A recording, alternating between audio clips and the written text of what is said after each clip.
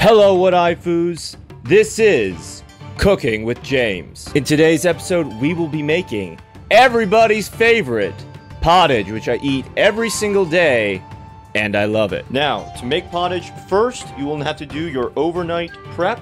You'll have to defrost your chicken thighs. This is four to five pounds of chicken thighs, and you will have to soak your beans. All right. This is a six quart cast iron Dutch oven that I got from Amazon. It was like 40 bucks, which is expensive, but I use it every single day of my life. So it is worth it. So we have our beans here. This is about, oh, two pounds of beans with a couple tablespoons of salt and uh, half a cup of vinegar that makes the beans less flatulent in your belly. So that's what we're gonna get started with today. Those are the two main constituent components. We're already like 60% of the way there. All right, so to make our chicken, we're going to turn the oven on to 375 and we're going to put our chicken in and we're just gonna let that cook until it's like golden brown so we're just gonna let the chicken cook. It's gonna take maybe an hour and a half to two hours, and that will allow us to get our vegetable component all nice and ready.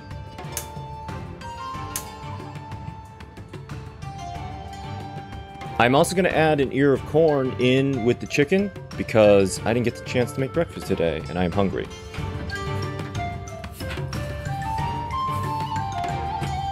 Now, to our beans, we will add one onion diced. In addition to onions, we will add four stalks of celery sliced.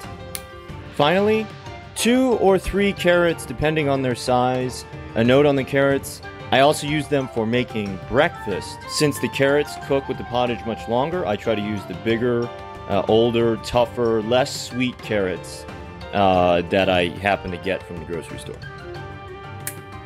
So here we have all of our nice vegetables going into our bean pot.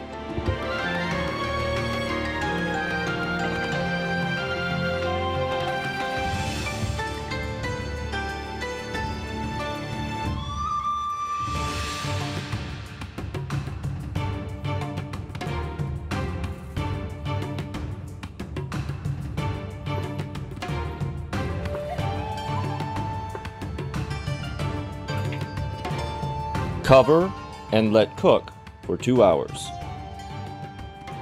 Okay, James, my chicken is in the oven, my beans and my other vegetables are on the stove. What do I do? The answer is do anything you want. Have your corn. Have a pear. Have something else for breakfast. I'm really hungry.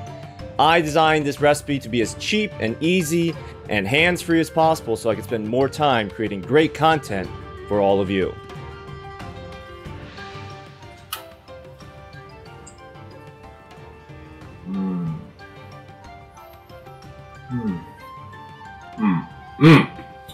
Okay, it's been roughly two hours. Our chicken looks like this, and our beans and our onions and our carrots look like that. They look delicious. So now what we're going to do is we're going to take our tongs and we are going to put the chicken in with all of the beans. Oh, yes. Oh, my. Oh, heavenly. So we got some nice browning on the chicken, get those flavor compounds, and our aromatic le- uh, celery and carrots and onions are all uh, releasing their goodness under the high heat. Oh, and then also, once we add our chicken, we can turn our heat down to about like low, you know, medium low, just kind of like a bare simmer. We don't want our pot to boil over and lose any of that poultry goodness.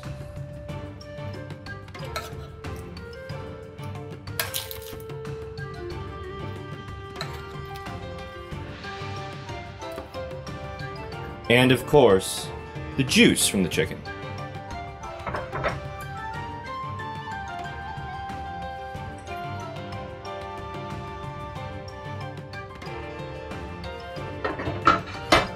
This is also the type of recipe that lends itself well to adding just whatever you want. So I have some uh, chopped green beans that we're going to add right on top here. why add the green? Why not add the green beans with all the other beans and the carrots and the celery and the onions and all of that, James? Well, different ingredients cook at different rates. Uh, the onions, carrots, and celery are very tough and fibrous, so they take a while to break down. The green beans, especially if they've been previously frozen, are more fragile and don't need as long and also get really, really mushy if you cook them for too long. It is also at this point that I like to add some salt to the chicken, and that bears a little bit of discussion. So, salt, regular old table salt, and sugar are the two secrets of the restaurant industry. If you've ever made something and you didn't add salt and it tasted kind of bad, it's probably because it needed a little bit of this. After making the pottage for so long, I know how much salt to add, uh, but the best advice is just salt to taste. Uh, you'll know add little bit by little bit until it tastes perfect. You can always add more, but you can't take it out.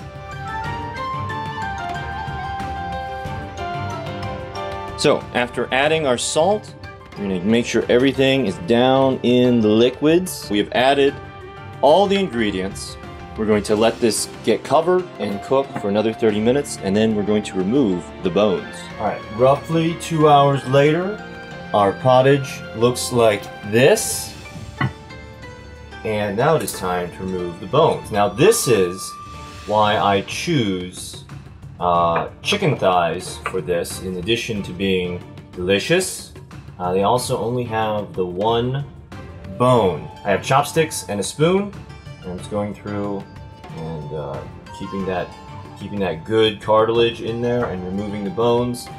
Um, if I were to use uh, chicken breasts, I think they would dry out more easily, and also that comes with ribs attached.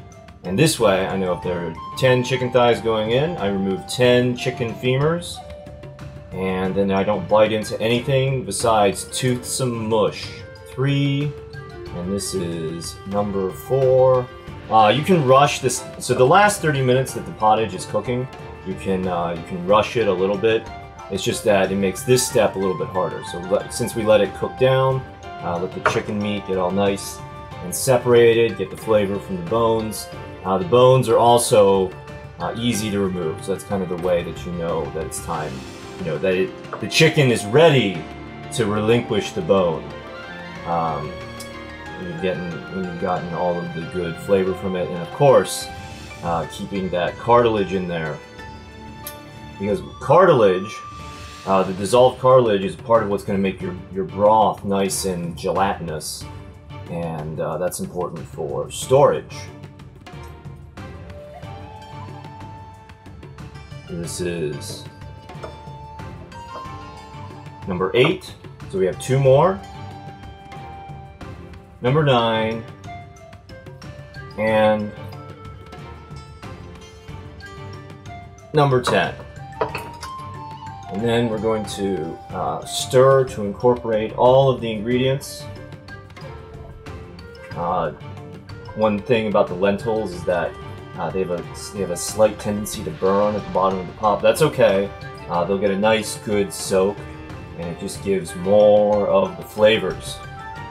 I know maybe I'm biased because I eat this every single day, but I do enjoy it. And after uh, multiple years of cooking the same exact thing every single week, I think I've gotten rather good at it. Okay, let's give this a taste. Get some of that juice. No more salt required. Well, let's have some of these beans. And they're done when they're nice and mushy, so those are just perfect. Now, this next part gets into my personal food strategy. Basically, we've been cooking everything at high heat in a metal container for a number of hours, so everything is sterilized, and that's great for storing it in the refrigerator. But before we do our final sterilization, I'm going to take some uh, for my bowl for my lunch and dinner today. So here I have my ladle out, and I'm going to add it into my bowl uh, because I want to let it have a final uh, pasteurization. Uh, you know, putting even though I wash all of my implements, having um, putting stuff in the pottage is potentially adding germies And we want all the germies to die so that I can have all of my food and they get none of it.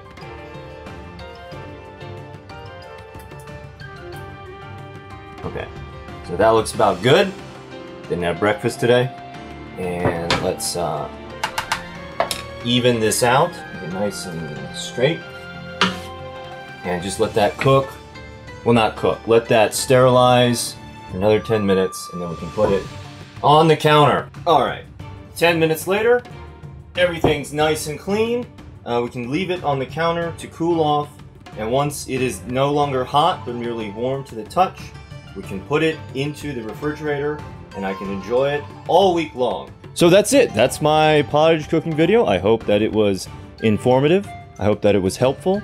Uh, usually I make Yu-Gi-Oh! Duel Links content, but if you would like to see more of James's weird lifestyle, uh, I can I can know how to make other things. We can make other cooking videos. We can go fishing. Uh, we can go running. We can uh, learn how to tie the man bun.